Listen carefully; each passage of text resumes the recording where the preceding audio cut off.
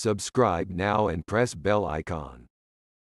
बसमीम महमद महमद इंतहाई अफसोस के साथ ये मौजू डिस्कस किया जा रहा है कि 6 जून 2021 रात 8 बजे कनाडा के सूबे अंटारियो के शहर लंदन में एक मुसलमान ख़ानदान को उस वक्त इस्लाम दुश्मनी की बुनियाद पर निशाना बनाया गया और तेज़ रफ्तार गाड़ी से कुचला गया कि जब वो रात को टहल रहे थे, चार अफराद यानी सलमान अफजल साहब, उनकी वालदा, उनकी जौजा और उनकी बेटी मौके पर शहीद हो गए। दुआ है कि खुदावन तबारक वाली उनके दर्जात को बुलंद से बुलंद फरमाए और उनका बेटा शदीद ज़ख्मी है जो इस वक्त अस्पताल में है। और दुआ है कि खुदावन तबारक वाली उसे शफा आजल कामिल अता फ़रमाए और इस सदमे को बर्दाश्त करने की ताकत और कुदरत अता फ़रमाए और उनके तमाम लवाहकीन को सब्र जमील अता फ़रमाए। इन हालात को फ़कत सुनना नहीं चाहिए, बल्कि ये देखना चाहिए कि इन हालात की वजूहत क्या हैं। और फिर इन हालात के बाद जो कुछ हुआ, वो क्या हुआ और क्या ज़िम्मेदारी थी दूसरों की और क्या ज़िम्मेदारी है हमारी। तो पहली बात तो ये है कि हम ये देखते हैं कि जब क्राइस्ट चर्च में न्यूजीलैंड में मस्जिद पे हमला हुआ तो वहाँ की वज़ी अज़म का क्या बर्ताव था और वज़रा का क्या रवैया था, हुकूमत का क्या रवैया था, परचम किस तरह से सरनगू हुआ, किस तरह से उन्होंने स्कार्फ पहना, किस तरह से लोगों ने मुसलमानों के साथ इजहार यकजहती की और शर्मिंदगी का इजहार किया और मुसलमानों का साथ दिया। और आज किस तरह से कनाडा के लोग वहाँ लाकर फूल रख रहे हैं उस मकाम पर जहाँ ये हादसा हुआ, किस तरह से लोग अपने बच्चों के साथ आकर रो रहे हैं कि जिस तरह से अज़ीज़ व अकरबा एक दूसरे को पुरसा देते हैं, किस तरह से हुकूमत के अफराद आए, किस तरह से वज़ीर आए और किस तरह से परचम सरनगू रखा गया। ये तारीफ़ तो है इन लोगों की। हमारी तारीफ़ जब होती कि जब हम अपने ममालिक में किसी मज़लूम के ऊपर जुल्म होने के बाद ऐसा रवैया रखते। तो ये तारीफ़ हमारी नहीं है, ये तारीफ़ उनकी है।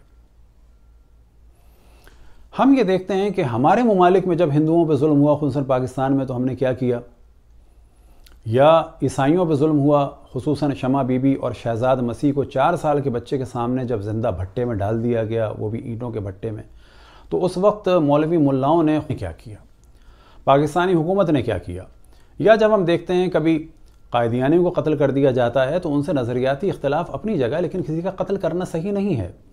हती अगर हमारे माशरे में कुछ लोग इथियस भी हो जाएँ तो हमारे मौलवी मुल्लाओं का काम यह है कि उनसे इलमी तरीके से अखलाकी दायरे में डिस्कशन करें और उनको काने करने की कोशिश करें। महज कत्ल किसी चीज़ का इलाज नहीं है। फिर हमारे साथ, यानी अहल बैत सलाम के चाहने वालों के साथ क्या किया जा रहा है? बस अच्छाई उस सूरत में हमारी होती कि जब इन मज़लूमों के साथ अच्छा बर्ताव किया जाता।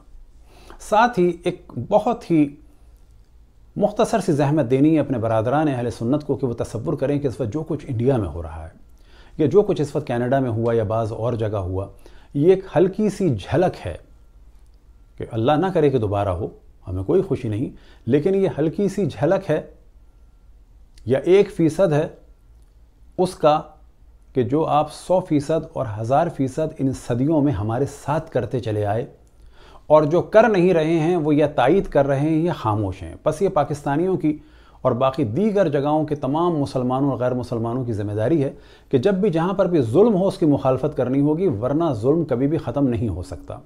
ये नहीं हो सकता कि यहाँ पर क्योंकि अहल सुन्नत को मार दिया तो बहुत बुरा हुआ, लेकिन पाकिस्तान में शीयों को मार दिया, ईसाइयों को मार दिया, कोई बात नहीं। नॉर्मल है हमारे लिए। तो फिर कभी भी जुल्म ख़त्म नहीं होगा। अब एक मौजू कि जिसको मुमकिन है, बाद लोग समझें कि हमने कुछ एरिटेट कर दिया, लेकिन हकीकत पर मबनी है। इस नौजवान ने ट्रक के ज़रिए से या अपनी हैवी गाड़ी के ज़रिए से लोगों को कुचलना किससे सीखा? कदन इसने गलत काम किया। बिल्कुल गलत काम किया। कहीं ऐसा तो नहीं कि ये काम इसने फ्रांस और इंग्लैंड के उस वाक़े के बाद के जो सल्फ़ी और वहाबी लोगों से सीखा है कि जिन्होंने ट्रक चढ़ा दिए मासूम लोगों पे। बस एक मौजू ये आएगा जिसे हम तफसील से भी बाद में डिस्कस करेंगे, इस्लामोफोबिया क्या है? यानी इस्लाम से लोग खौफजदा हैं।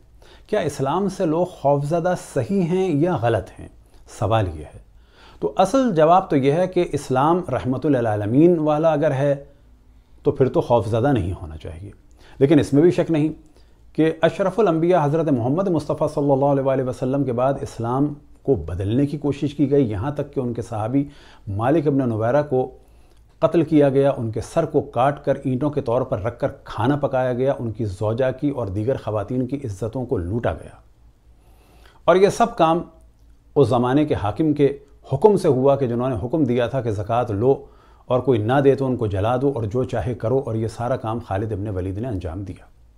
अगर लोगों के सामने ये सारे मजालिम हों और साथ में बनु मैया बनु अब्बास और उस्मानियों का जुल्म हो, या जितनी दहशतगर्द तंजीमें, अलकायदा, तालिबान, चाहे पाकिस्तान की, अफ़गानिस्तान की, सिपह साहबा, लश्कर झंगवी बोको हराम रियाज़ुलसालहीन चचीनिया की, अशबाब, सोमालिया की, या और दीगर जितनी भी दहशतगर्द तंजीमें हैं, या जो कुछ किया अखबानमसलमिन ने पावर में आने के बाद मिस्र में, या जो कुछ किया जा रहा है इस वक्त लीबिया में, या जो कुछ किया गया नाइन एलेवन में, या सेवन सेवन के बाद या जो कुछ किया गया मुख्तलिफ़ जगह पर धमाकों के ज़रिए से, क्या इसके बाद इस्लामोफोबिया नहीं होना चाहिए था? या होना चाहिए था।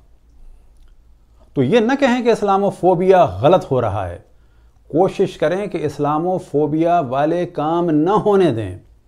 और इस वक्त भी हमारे पास गुंजाइश है खसूस हमारी गुजारिश है, देवबंदी, सल्फ़ी और वहाबी मुल्लाओं से कि वो उठें। और उन तमाम कामों की जो उन्होंने और उनकी तंजीमों ने किए, उनको कंडेम करें।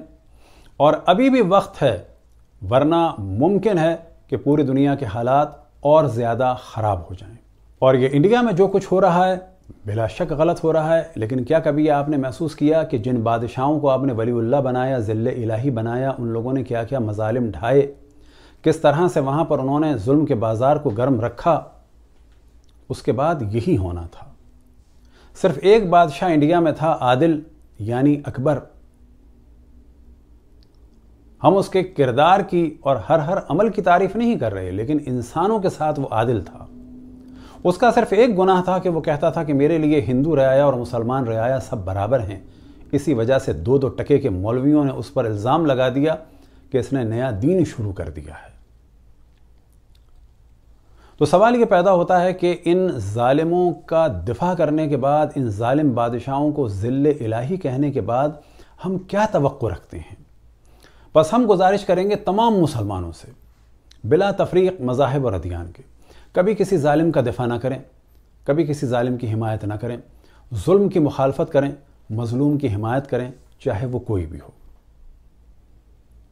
आज अगर हम होलोकास्ट की हिमायत करेंगे और उसको सही समझेंगे। तो जिस तरह से हम एक दीन के खिलाफ जराइम को सही कहेंगे तो कल मुमकिन है किसी और दीन के मानने वाले इसी काम को हमारे साथ अंजाम दें। और यहीं पर अपनी गुफ्तु ख़त्म करेंगे इस जुमले के साथ कि कोई भी ालिम हो किसी भी दीन व मज़हब का उसकी मुखालफत करें, और कोई भी मज़लूम हो किसी भी दीन व मज़हब का हती कोई ऐसा शख्स के जो कोई दीन भी ना रखता हो, उसको भी जुल्म का शिकार न होने दें। यही वो आखिरी वसीयत थी मौलामीरमिन सलाम की, कूना में खसमा वलमज़लूम आना क्या हसन हुसैन, तुम हमेशा ालिम के मुखालिफ रहना और मज़लूम के तरफदार और मददगार रहना। वसल महमद व ताहरीन।